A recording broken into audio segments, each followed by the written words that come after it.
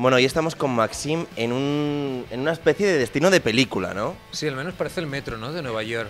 Un taxi por aquí, un trocito, un poco de metro. Aquí el- los grafitis. ¿Qué película pondrías a este sitio? Eh, taxi Driver.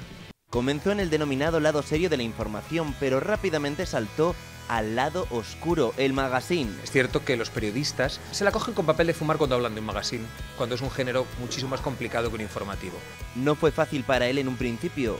porque lo hacía fatal. Yo creo que estaba inseguro, me movía por el plató muy mal, lo hacía de manera atropellada. No, yo creo, no creo que me, me costó estar tranquilo. ¿Volvería a el programa de Ana Rosa? ¿Lo echa de menos? Pues no, Comentamos con él estas portadas de revistas. ¿Lo ve lícito? Eh, no, no me, lo, no me lo parece, sobre todo cuando alguien eh, no eh, vive de contar quién apaga la luz en su casa, ni, ni vive de contar intimidades, no creo que tampoco ni interese ni haya que, que enfocar ese, esa noticia. No, no creo. Me parece de, me parece de mal gusto. Además, es sincera y dice lo que piensa de las audiencias. Yo creo que en la tele se preocupan demasiado por una décima cuando una décima no es nada y se montan pollos, he visto en redacción, por una décima eh, que, no, que no significa nada. Y lanza una pregunta a Rajoy y a Pablo Iglesias. Comienza la entrevista de Fórmula TV. Habéis empezado con muy buena acogida, con mucho cariño por parte del público. Hacía tiempo que la gente pedía que volvieses a la tele y supongo que tú también tenías ganas, aunque has estado muy bien con las novelas. ¿Cómo te ha sentado a ti el, el recibimiento de la gente? No tenía ninguna ganas de madrugar, eso... ¿No tenías ganas? No, no, no, eso, eso no lo quería hacer y yo estaba disfrutando muy bien haciendo otras cosas porque quería tomarme pues, un respiro y pensar bien qué es lo que quiero hacer y acertar con los noes que dices más que con los síes. Y la oferta llegó de destinos de película mientras que estaba en París haciendo una novela, preparando... Te encanta París, ¿eh? Te Sí, encanta. sí, sí, sí. Ese es un destino de película, desde luego también. Y me llamaron y dije, hay que volver. Con un proyecto así, yo creo que soy la envidia del resto de periodistas y de cualquier persona que le encante viajar.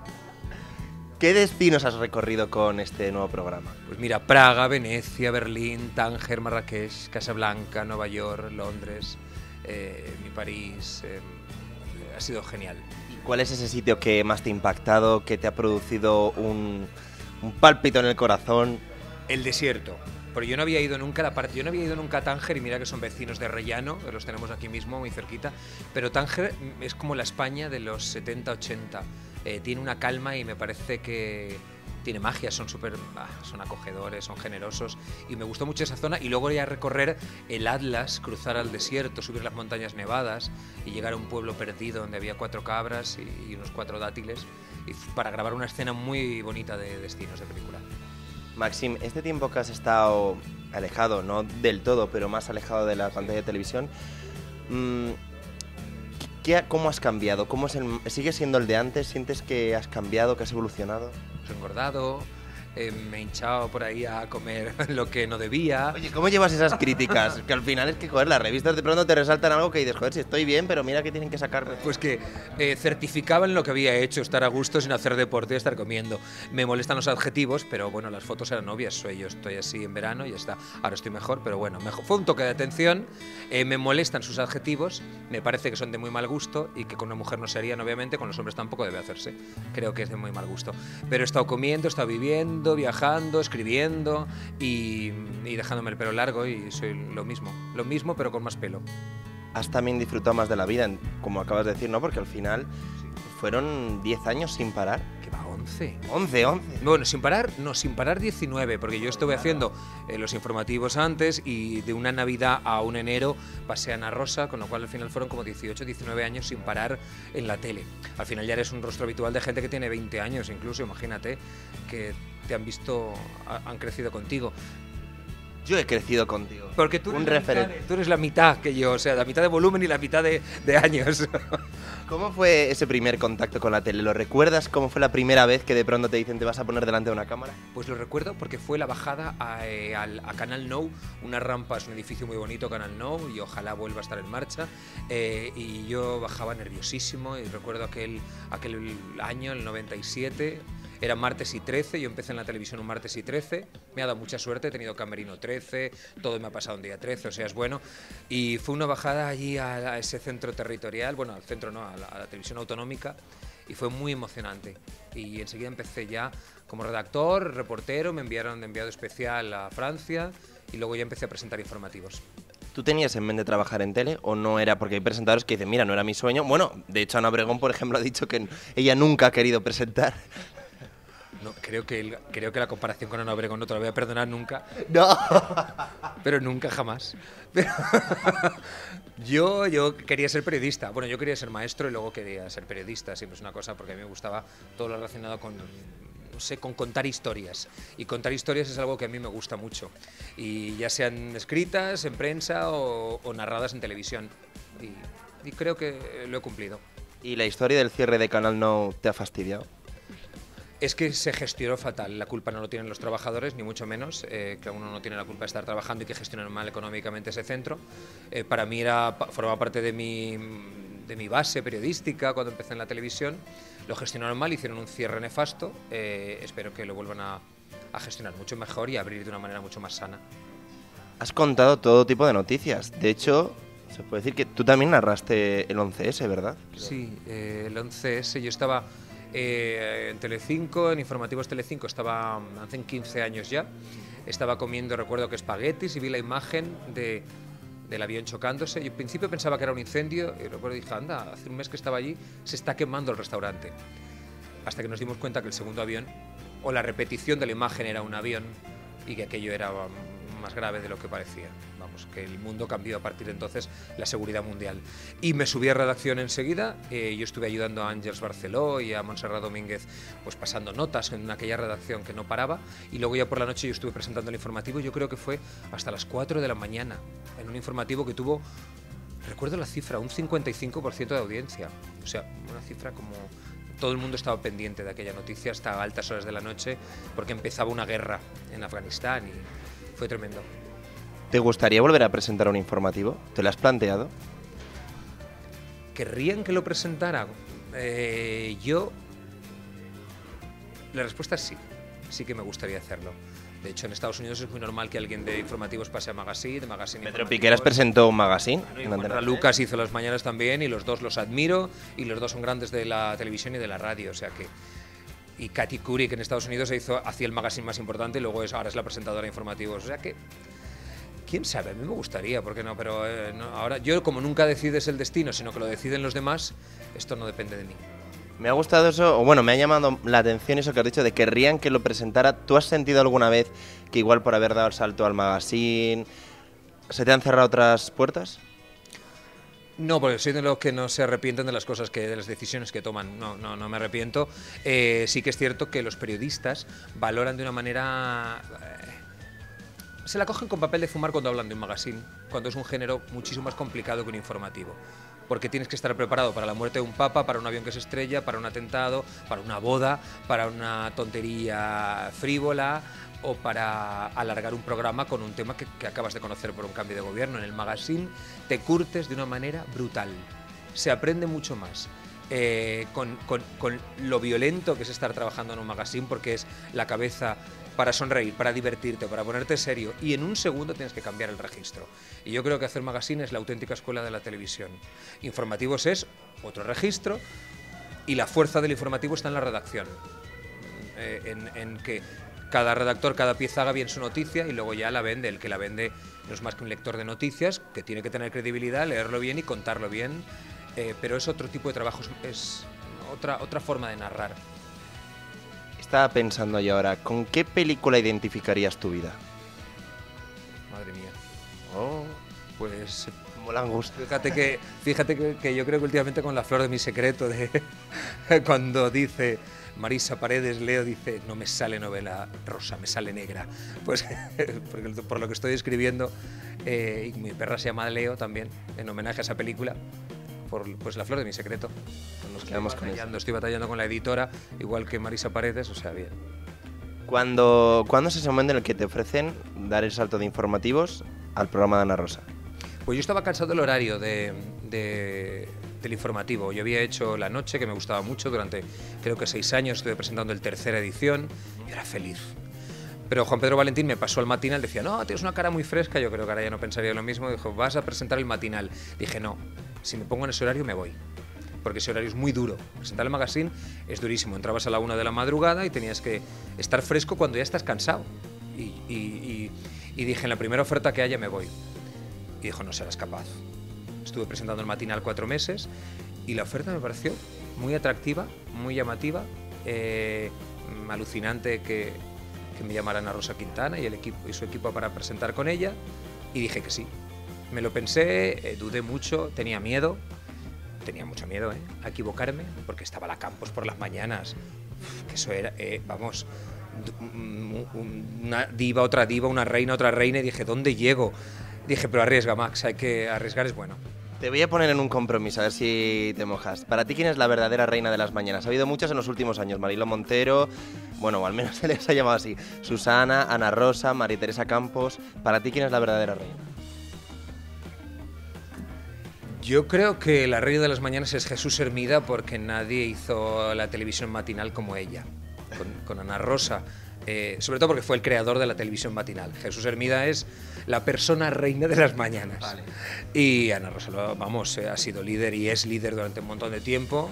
Eh, Susana están ahí compitiendo, están las dos pues casi empatadas de cifra, luego lo miras y es una batalla pues realmente entretenida. María Casado, bienvenida a, las mañanas.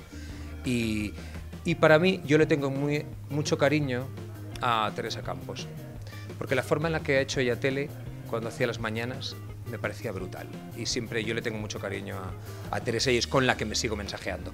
¿Has visto el reality de las Campos? El docu-reality, que si no nos mata ahora mismo María Teresa Campos, como digamos la palabra reality. Porque en el fondo no han enseñado lo íntimo, han enseñado lo que han querido. Un reality sería cuando enseñas o se ve sin que tú quieras. Ahí han decidido ellas que muestran, no... ¿Han sido sinceras o ha habido un poco de fingimiento por su parte?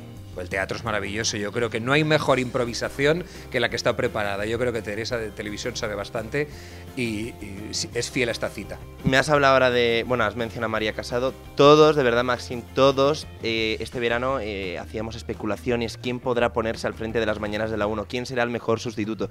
Nosotros te propusimos a ti que igual tú ni siquiera te lo planteabas. Como cuando de pronto ves, por ejemplo, en portales como Fórmula TV, Maxim Huerta, el perfecto para presentar las mañanas, ¿qué se te pasaba por la cabeza? ¿Tú realmente algún momento te lo llegaste a plantear? Estando María Casado por las mañanas sería descortés hablar porque me parece que es una tipa, es, es que es genial. Todo lo que pusisteis en la web en Fórmula TV me parecía maravilloso todos los puntos que pusisteis. Y estaba de acuerdo, yo creo que casi todos, eh, si no en todos, porque me parecía un piropazo lo que estabais diciendo. Eh, plantearte hacer las mañanas, sí, sí que me lo planteé, claro, pero, pero no, mm, no, era, no, no creo que fuera el momento. ¿Y alguna vez has echado de menos la etapa de Ana Rosa? ¿Has dicho, me gustaría volver ahí? Pues no, no echo de menos ni madrugar, echo de menos a los compañeros verlos, echo de menos el buen rollo que había en el desayuno, porque había de todo, yo ahora me hago el desayuno yo y estaba allí el café y los bollos. Llama a María, a María la de María Teresa Campos, que igual... no, pero eh, no echo nada de menos nada madrugar, nada. No, no, no. Costó mucho tomar la decisión, te lo aseguro. Es muy duro tomar una decisión tan importante cuando llevas tanto tiempo, pero no echo nada de menos. No, no, no. Cuando rompo iba a decir que una pareja, cuando rompo con una pareja con un programa es eh, carpetazo. Estamos dando muchos saltos para adelante y para atrás, pero me gustaría volver al, momento en el que tú te pones al frente de Ana Rosa, que muchas veces has dicho que de primeras te costó. No, no, yo creo que no, debería de haberme echado, porque lo hacía fatal. Yo creo que estaba inseguro, me movía por el plató muy mal, eh, hacía cosas que lo hacía de manera atropellada. No, yo no creo que me, costó estar tranquilo. Y yo, Fíjate, yo no notaba eso. Yo veía ahí una persona que era quizás como la parte más seria del programa, pero que aportaba su seriedad. No veía a alguien que estuviese nervioso ni que fuese de manera atropellada. Pero me salía de una manera torpe. Y todas las críticas que recibí en los tres primeros años de Ana Rosa Quintana creo que tenían razón, todos los que lo criticaron, porque yo creo, visto con la distancia, que, me, que, que intentaba hacer una gracia que no tenía ningún sentido mm, y que y que no. Yo empecé a estar bien al cabo de los tres años, a partir de los tres años, porque dije, ahora sí que estoy, sí que encajo, ya estoy bien, pero me costó mucho y ellos lo saben, ¿eh? no es ningún no estoy como desvelando algo, a lo mejor para la gente sí, pero yo estuve incómodo mucho tiempo porque estaba acostumbrado a una mesa eh, que es protegido, en plan Juego de Tronos casi, en ese trono de un informativo, pero no aquí hubiera una cámara aquí, otra allí, otra allí. No sabía moverme. De hecho, me pusieron ropa espantosa, con todo mi cariño a estilismo, pero... Un beso para estilismo. Un beso para estilismo, pero yo llevaba unos pantalones que era un cuadro. Y de hecho, le quedaría bien a John Cortajarena, pero a mí no me puede quedar bien eso. Con lo cual yo me sentía incómodo eh, estéticamente y incómodo en el plató porque no me sabía mover. luego ¿Continuaste? No, luego fui muy feliz. Claro que decir, eh, no, en ningún momento dijiste me voy, continuaste. Sí, sí, no, no, claro, además porque el equipo es un equipazo y los compañeros son geniales y con Ana Rosa se trabajaba muy bien, pero yo estaba incómodo, lo aprendí a estar bien con el tiempo. Cuando ya dije, uff, cuando ya la ropa te sientes cómodo, entonces la ropa la ropa eh, no solamente metafórica. metafórica. Sí, sí, sí. Que, mm, ¿Hay alguna anécdota de estos años de, Ana Rosa que tú tengas en mente que no hayamos visto nunca? ¿Algo que sucediese detrás de cámaras?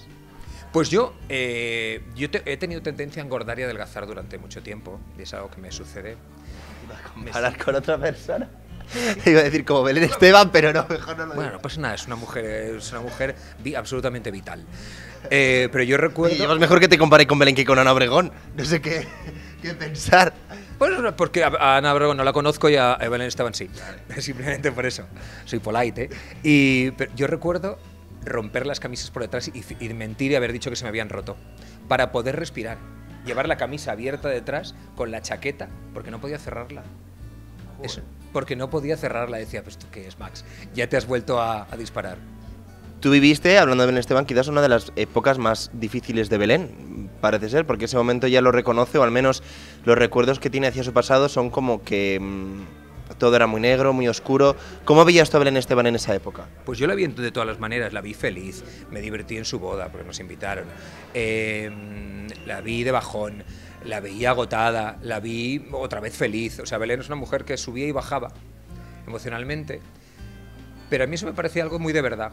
Eh, yo no, lo, de después yo no lo sabía, pero eh, no sabía el porqué de ese bajón, pero sí que es una mujer que era, cuando estaba triste estaba triste, cuando sonreía sonreía como la que más, cuando había que disfrazarse de botella de ketchup se disfrazaba eh, la primera, o sea, o hacía de Madonna, recuerdo, imitaciones. Es una mujer que se entrega... Imitación de Madonna, lo que dio de sí después, madre mía. Sí, porque fue un cuadro. Pero, pero ella se entregaba. Es una mujer que se ha entregado, yo creo, que ha dado mucho a, a la televisión, muchísimos momentazos muy divertidos y me quedo con esos de ella. ¿Y reconoces tú que has trabajado al lado de ella a la Belén actual? Porque la verdad es que es irreconocible. La persona tranquila, sosegada. No sé. Eh, eso es lo mejor que le puede pasar. lo que pasa es que eh, necesitará algún día desfogarse también. ¿eh? la tranquilidad mucho tiempo es un aburrimiento. Pero bueno, en ella en ella es salud. Tú también has tenido cambios a lo largo de los años, ¿eh? Este pelo largo bohemio... Es que es una promesa, no me lo voy a cortar hasta que no suceda algo. ¡Ay, Dios mío! Claro, ¿no nos podrás decir el qué? No. no. ¿Pero lo veremos todos ese algo? Pues supongo. Pero no me lo... Pero ahora he decidido, digo, no me lo voy a cortar. Espero que no parecer um, Greystock, pero bueno. Yo me gusta que te mojas en todos los temas. Y yo ahora quiero preguntarte por algo relacionado con compañeros tuyos de profesión este verano no solamente en las revistas has salido tú y esos cambios y tal. También han salido, por ejemplo, Sandra Barneda con su supuesta novia Nagore, María Casado con su supuesta novia Toñi. ¿Cómo llevas o cómo ves tú que los medios de comunicación em, se metan tanto a veces en la vida de las personas y de pronto igual saquen cosas que la gente no quiere contar? ¿Te parece lícito? Eh, no, no me, lo, parece, y sobre todo cuando alguien eh, no eh, vive de contar su quién apaga la luz en su casa, ni, ni vive de contar intimidades, no creo que tampoco ni interese ni haya que, enfocar ese, esa noticia. No, no creo. Me parece de, me parece de mal gusto. Innecesario también. Esta pregunta te la hago porque hay gente que dice que ellas, como trabajan en programas, magazines, hablando de otra gente, pues que también ven su vida expuesta. Tú al final has trabajado también en un magazine. Si de pronto ves tu vida expuesta eh, en las revistas, en los programas, ¿te fastidiaría o lo entenderías? Tienes derecho a quejarte. No estoy de acuerdo con que salga la noticia, eh, desde luego. Pero es obvio que cuando sale tú tienes derecho a quejarte. Eh, y, yo he estado y a mí me han sacado por ahí en fotografías en las que no me gustaría estar, pero me he quejado y, punto. Mm, creo que es lo único que puedes hacer después. Porque si estás por la calle, claro, no puedes hacer nada más. ¿Qué te dicen tus padres cuando te han visto triunfar en la televisión, cuando te han visto dar noticias tan guays y ser aplaudido por todos por los libros que escribes? Pues mi, mi, padre dice poquito porque, se, porque es un hombre muy tranquilo y nunca ha dicho, nunca ha dicho ni, ah, estás presentando un informativo. O sea, no, no, no, no trata, me pregunta más por si he cambiado el aceite del coche y he revisado las ruedas que por, por la televisión, nunca, o por las novelas. Un día me dijo, dame una que me la lea. O sea, no tiene, mmm, lo trata como algo normal. Y mi madre, yo sé que para ella la tele siempre ha sido como el Skype. Entonces, para mí verme por la tele a diario era como quien tiene Skype y ve a su hijo y luego cuando acababa el programa siempre me decía, estás bien, o no estabas bien, hoy te pasaba algo. Y cuando me leen las novelas sucede lo mismo. Eh, luego me pregunta y, entonces eh, yo sé que ella está orgullosa, mi padre también porque me llamo como él, cuando, cuando aparece su nombre, aparece el mío y el suyo a la vez, eh, se llama como yo y mi madre yo sé que está muy contenta y lo que más le gusta es que a lo mejor a las vecinas o a alguien, yo sé que le gusta que se lo diga, ¿no? que bien he visto a tu hijo y ahora con Destinos de Película le hacía mucha ilusión porque está todo el rato con la 1 puesta para ver las promos en la... como no hay publi, ponen las promos, está todo el rato esperando a ver el cuando sale. Destino, Roma, Destino. ¿Y qué te ha dicho después de ver el programa ella? Pues le, le, digo, ¿sabes que la gente se está quejando de que el horario es muy tarde? Se quejan de que es un horario muy tarde y dijo, va, eso es porque no, no te han visto en el informativo, el informativo era mucho más tarde. si yo me quedaba, y dice, si yo me quedo con mis años, que se queden también a verlo. O sea que pero, y más positiva. Pero eso, porque un programa, por ejemplo, como Destinos de Película, que perfectamente lo podrían encuadrar en otro día en prime time, no lo hacen. Hagamos una reclamación desde aquí. ¿Sabes? Lo, bueno de Televisión Española, que lo he descubierto ahora, es que tiene una web que es maravillosa. Y la gente que no lo ve por la noche sé que luego lo ve en la televisión a la carta. Es como el Ministerio del Tiempo. Claro, con lo cual no sabes eh, la cifra total de audiencia, porque la gente al día siguiente yo sé, veía Twitter y la gente estaba viendo el programa y digo, oye, mira, por la noche, que es lo que cuenta luego, no, pero que yo encantado de que lo vean por la noche o que lo vean por la tarde, pero ojalá fuera o lo repitan en otro horario, sí, eso yo encantado. Tú que has vivido tantos años pegado a las audiencias y ahora vuelves a vivir a ellas, ¿Te crees las audiencias? Porque al final hay muy pocos audímetros en España. No me he creído nunca ni las buenas ni las malas. Eh, y siempre las he relativizado un montón. Eh, te alegras muchísimo con una audiencia buena, eh, fastidia una, una mala, pero yo creo que en la tele se preocupan demasiado por una décima cuando una décima no es nada y se montan pollos, he visto en redacción, por una décima. que, no, que no significa nada. Yo creo que eso, mm, yo creo que hay que cuidar más el producto y, y no me las creo. Me creo más las audiencias de radio mucho más, porque la gente le pregunta por la calle, ¿qué es lo que ves? ¿Qué es lo que escuchas? Y la memoria es mucho más real que el mando este, porque lo tienen cuatro en España. ¿Cuántos lo tienen? ¿2.000? De un país de 45, 47, no sé cuántos somos. Millones. Eh, no es representativo. Ninguna encuesta, mira las elecciones, es representativa. Y las audiencias ni cuando son muy buenas ni cuando son regulares. La mía es buena, ¿eh? Nos quedamos con eso. sí. Em, en alguna que otra ocasión dejaste claro que te gustaría que Telecinco en su momento hubiese apostado por ti para presentar pues, algún otro tipo de programa. Eso lo habéis dicho vosotros. Yo nunca me he quejado. Adelante, Basile. Soy, creo que la única persona de Telecinco que subió una vez y por otro asunto. O sea, no, nunca he subido a Basile, y lo puede decir Basile, Ana Rosa y cualquier despacho. Eh, me quejé una vez por una cosa de un carnaval de Tenerife eh, que no se prestó atención a un asunto que era grave.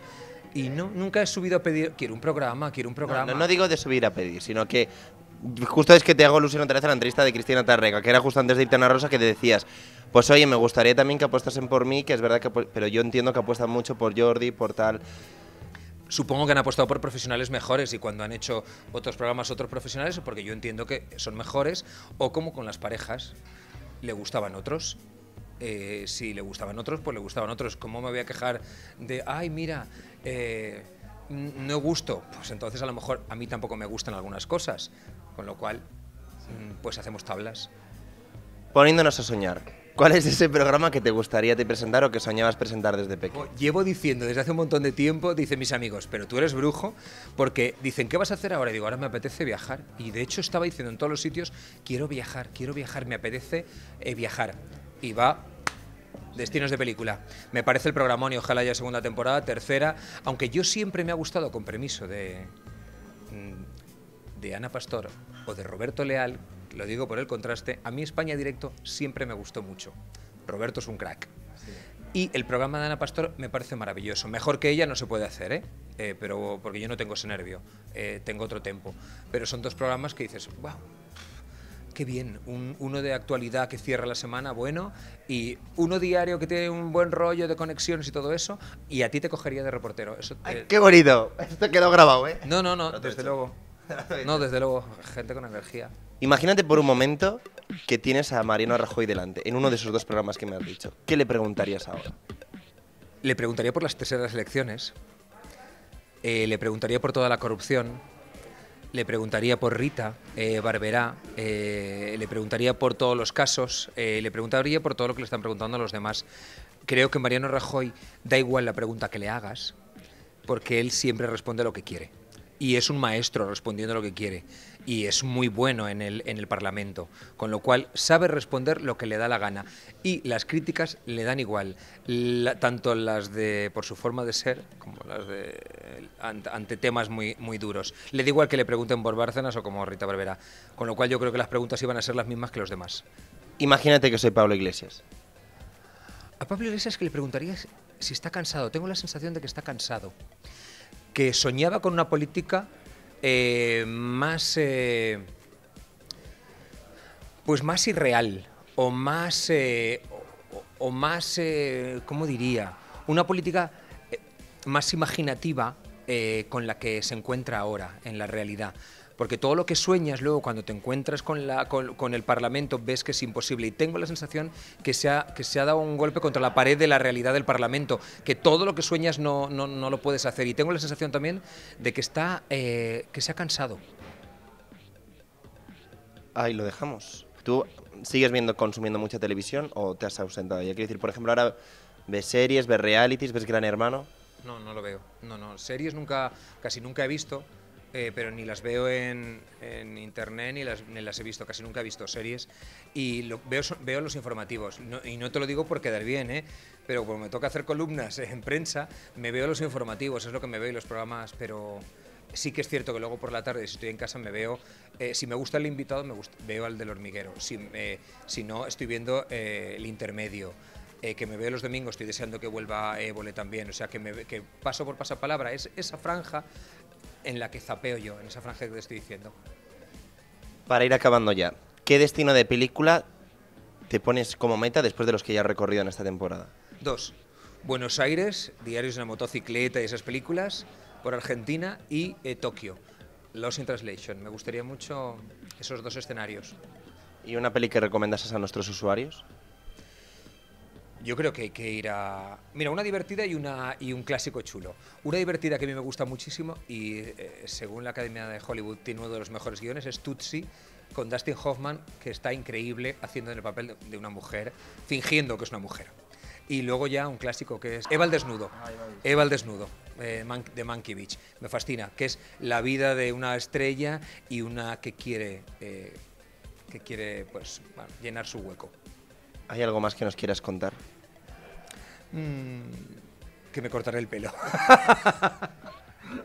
Se lo va a cortar, cumpla, ¿eh? cuando Lo se- veremos todos, veremos ese sueño cumplido. Cuando se, cu- cuando se cumpla una cosa. Vale, nos quedamos con eso. Sí. ¿Este año tú crees que llegará esa cosa? Sí. Vale.